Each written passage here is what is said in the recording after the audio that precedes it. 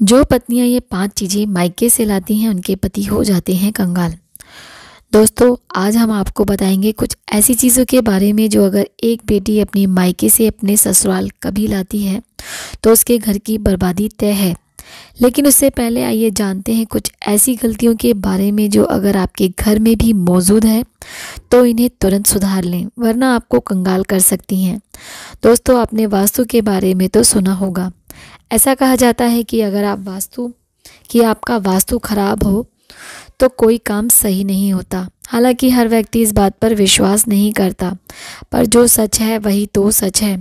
दोस्तों, कई बार हमारी कुछ गलत आदत हमें कई तरह की समस्याओं में डाल सकती है। यदि हमें इनके बारे में पहले से ही पता हो तो हम आने वाली समस्याओं से बच सकते हैं। वास्तु के अनुसार, यदि आप जीवन में चाहते हैं आप अपार धन और सुख, शांति तो बताई जाने वाली बातों का ध्यान घर में ज़रूर रखें। ऐसा करने से कभी दरिद्रता और गरीबी नहीं आएगी। तो चलिए जानते हैं कि किन कामों को ना करने से आप अपने पास से गरीबी को हटा सकते हैं, लेकिन उससे पहले आपसे निवेदन है कि यदि इस चैनल पर पहली बार आए हैं तो चैनल को सब्सक्राइब कर वीडियो को लाइक एंड शेयर ज़रूर करें ताकि हर वीडियो आप तक पहुँच सके। तो चलिए वीडियो को शुरू करते हैं। नंबर एक, दोस्तों अगर आप अपने बेडरूम में दरवाजे की तरफ़ पैर करके सोते हैं वास्तु के हिसाब से बिल्कुल सही नहीं है। ऐसी मान्यता है कि ऐसा करने से लक्ष्मी आपके घर में नहीं आती है और जो आती भी है, वह दरवाजे से ही लौट जाती है। नंबर दो, आपको बता दें, आपके घर में लगी घड़ी का भी वास्तव में बहुत बड़ा संबंध है। आपको तकिए या सिर के नीचे में बेड के सामने वह पीछे घड़ी रख कर नहीं सोना चाहिए। इससे इंसान का दिमाग नकारात्मक सोचता है और उसके पास कभी लक्ष्मी नहीं दिखती। नंबर तीन, इसी तरह आपका बेड भी आपके लिए वास्तु का एक उदाहरण पेश करता है। आपको पता है कि वास्तु के अनुसार यह बहुत ही ज़रूरी है कि आप जिस बिस्तर पर सोते हैं, उस पर बहुत ही साधारण रंग की चादर और तकिया होना चाहिए। अत्यधिक गहरे चमकीले रंग वाली चादर व तकिए के कवर से भी लक्ष्मी नहीं टिकती। इसीलिए इसका भी ध्यान रखना चाहिए। नंबर चार, अगर आपकी बेड पर कोई भी इलेक्ट्रिक चीज़ है तो यह भी आपके वास्तु के हिसाब से ठीक नहीं है। आपको चाहिए कि सोते समय आप अपने पास किसी तरह का पंखा या कोई और चीज़ बेड पर ना रख कर सोएँ। ऐसा करने से आपके घर में लक्ष्मी नहीं आती है। नंबर पाँच, आपको बता दें कि आपके घर में जिन लोगों की मृत्यु हो जाती है, हम अक्सर उनकी फ़ोटो घर में लगाते हैं, लेकिन ध्यान रहे कि जिस कमरे में आप सोते हैं, वहाँ पर मंदिर ना हो और ना ही बेडरूम में पूर्वजों की फ़ोटो लगनी चाहिए। इससे अशुभ माना जाता है। ऐसा करने से आपके घर में लक्ष्मी नहीं आती है। नंबर छः वास्तु का एक पहलू यह भी है कि आपके बेडरूम में और आपके पूरे घर में मांसाहारी जानवरों की तस्वीर नहीं होनी चाहिए और किसी युद्ध की तस्वीर भी ना लगाएँ। ऐसा करने पर आपके घर में लक्ष्मी नहीं आती है यह वास्तु के अनुसार ठीक नहीं है। दोस्तों, शास्त्र में कुछ ऐसी चीज़ों का वर्णन है जो पत्नी को अपने मायके से कभी नहीं लानी चाहिए, वरना यह पति की बर्बादी का कारण बन सकती है। हो सकता है पति कंगाल हो जाए। बेटियों के लिए हर माँ बाप का सपना होता है कि उन्हें एक अच्छा ससुराल और प्यार करने वाला पति मिले। ससुराल में उनकी बेटी का मान सम्मान किया जाए और ससुराल में कई खुशियाँ, ही खुशियाँ हो।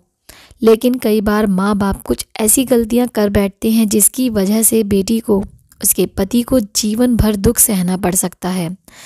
बेटी को दी गई कुछ चीज़ों के कारण उसके जीवन में खुशियों की बजाय दुख आते हैं। आइए जानते हैं कि बेटी को कौन सी चीज़ें गलती से भी नहीं देनी चाहिए।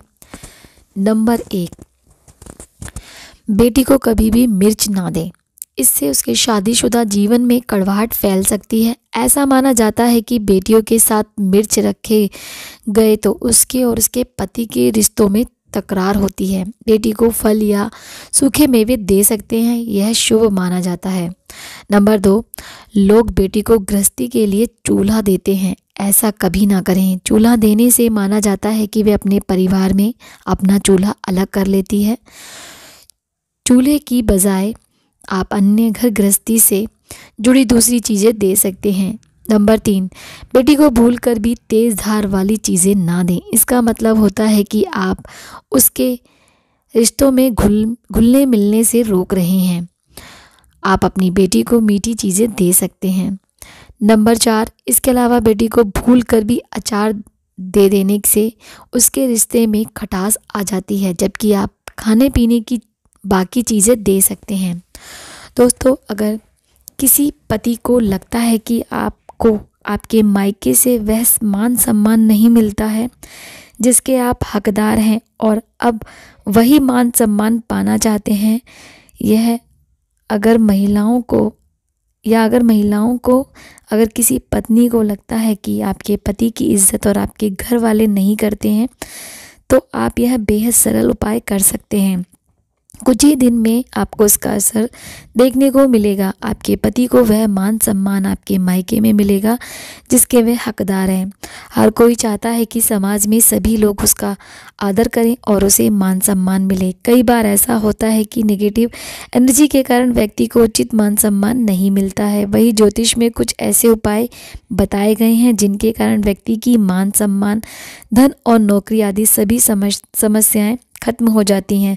साथ ही काफ़ी लोग आपका आदर भी करने लगते हैं। तो आइए जानते हैं कुछ ऐसे उपायों के बारे में। नंबर एक, रात को सोते समय एक तांबे के बर्तन में पानी रखकर सोना है और उस बर्तन में आपको सोने या चांदी का कोई सिक्का या आभूषण डाल देना है।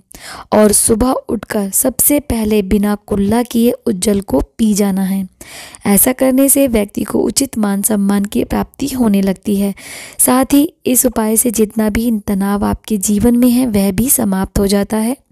आपके दिमाग में या आपके मन में कोई भी तनाव हो, वह सब समाप्त हो जाएगा। नंबर दो रात को सोते समय अपने पलंग के नीचे एक बर्तन में थोड़ा सा पानी रखें और सुबह वह पानी घर के बाहर फेंक दें। ऐसा करने से वाद विवाद या कोई व्यक्ति आपके ऊपर आरोप लगाता है तो वह भी सिद्ध नहीं होता है। इस उपाय को करने से आपको सभी प्रकार के वाद विवाद से सुरक्षा मिलती है। इससे आपके ऊपर जितनी भी नकारात्मकता है या अगर घर में नकारात्मकता है, वह सब इस पानी के द्वारा घर से बाहर निकल जाएगी। रोज़ाना यह उपाय करें तो कुछ ही दिनों में आपको इसका असर दिखने लगेगा।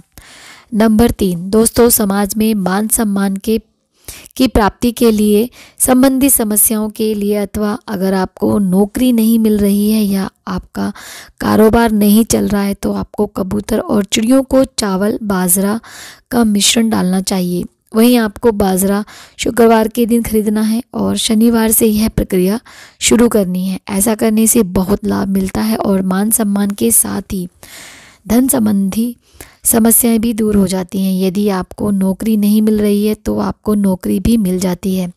साथ ही बुधवार के दिन गणपति जी को धूप अर्पित करने से व्यक्ति को मान सम्मान की प्राप्ति होती है।